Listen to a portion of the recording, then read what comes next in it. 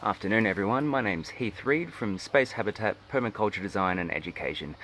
And this afternoon I'm going to be talking about pigeon pea, which is a very important permaculture plant that can be used in any sort of garden situation. The reason is, the pigeon pea comes from the pea family, which means it grows peas obviously, but it is also a legume. Because it is a legume, it is a nitrogen fixing species. Now the reason it's a nitrogen fixing species is because of all these little nodules on the root system. See them? Little white balls around the place.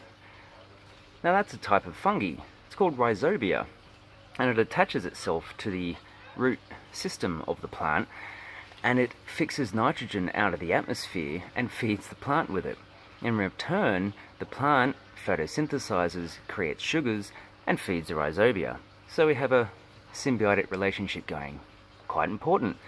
Now, because of the rhizobia fixing nitrogen from the atmosphere, it doesn't require any nitrogen in the soil already because it increases the nitrogen levels in the soil via the atmosphere.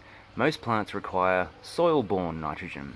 Legumes get it from the atmosphere via rhizobia.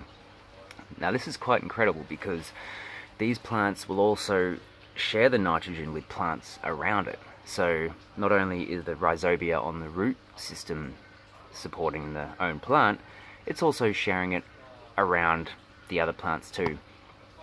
Now with pigeon pea, in a permaculture setting, it has several functions. It functions as a fast-growing pioneering species that also injects nitrogen into the soil via its rhizobia. It also grows very quickly, which means you can chop and drop it into a form of mulch and compost. You can grow it quick as a screening tool or tool plant. You can use it to shade things. Uh, it's great animal fodder if you have livestock or even chickens. Chop it all up and they love it. And then it comes to the peas that grow on these plants. They're used in split dal which is one of the most popular dishes in the world. Most of the Indian subcontinent eats pigeon pea. It's gone through Central America and through the Caribbean, into Africa, Asia, everywhere now. It's been domesticated for three and a half thousand years. So this important crop that does multiple things for you is an incredible addition to any garden. I suggest you get some pigeon pea because they're a great plant and they're easy to grow. They're disease resistant, they're drought resistant, they don't take a lot of water, they can grow in a lot of different types of soils, and they're fast growing, you get food from them, and they're quite fun to be around. They have nice little pea flowers too.